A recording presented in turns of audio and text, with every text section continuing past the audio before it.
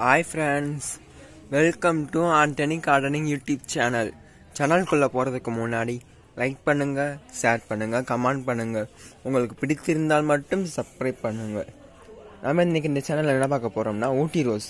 நான் இதுக்கு முன்னாடி ஒரு வீடியோ போட்டிருப்பேன். அதில் ஒரு ஃபைவ் ஸ்லிப்ஸ் கொடுத்துருப்பேன். நான் இப்போ சும்மா டெமோக்காக காமிக்கிறேன்.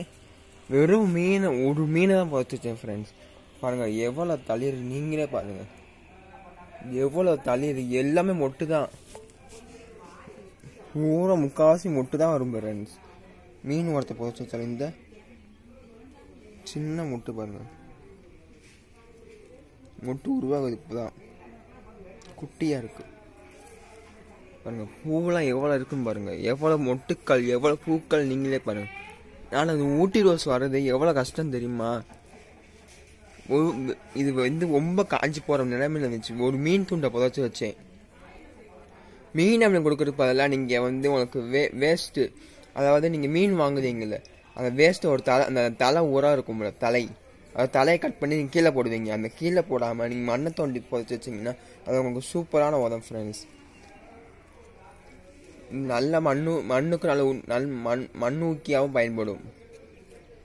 பூரா தள்ளிட்டு தான் வரும். இந்த ஊ நீங்கள் ஊட்டி ரோஸ் வாங்கி வச்சு பாருங்கள் நீ பட்டன் ரோஸ் நீங்கள் பட்டன் ரோஸ் வாங்கி வச்சு உங்களுக்கு பூ நிறையா கிடைக்கும். அதாவது பூ வந்து அதிகமாக கிடைக்கணும்னா நீங்கள் பட்டன் ரோஸ் வாங்கி வைங்க உங்களுக்கு நல்லா நீட்டாக அழகாக ஒரு ஒரு பூ நல்லா பெருசாக நல்லா பந்து போல் வரணும்னா நீங்கள் ஒரு ஊட்டி ரோஸ் வாங்கி வைங்க உங்களுக்கு நல்லா அழகாகவும் செழிப்பாகவும் இருக்கும். அழகாக இருக்குல்ல? அது இப்போ தான் விரிஞ்சுக்கிட்டு இருக்குது இந்த இப்போ தான் எங்கள் இதில் வெயில் அடிக்குது.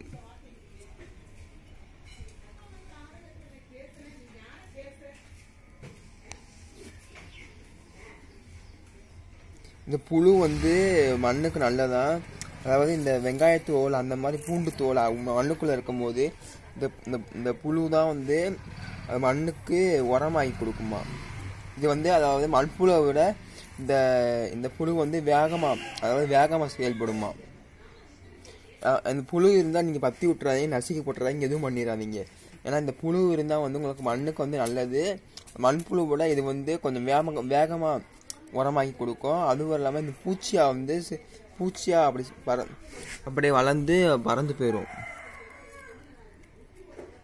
அதனால் புழு இருந்தால் கொண்டு போட்டுற கொண்டு போட்டுறாங்க ஃப்ரெண்ட்ஸ்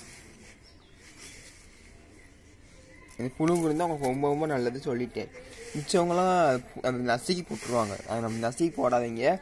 மண்ணுக்குள்ளே இருக்கட்டும். அது மண்ணுக்கு வந்து மண்ணுக்கியாக பயன்படும். நல்லா செய்ய நல்ல பயிருக்கியாக பயன்படும்.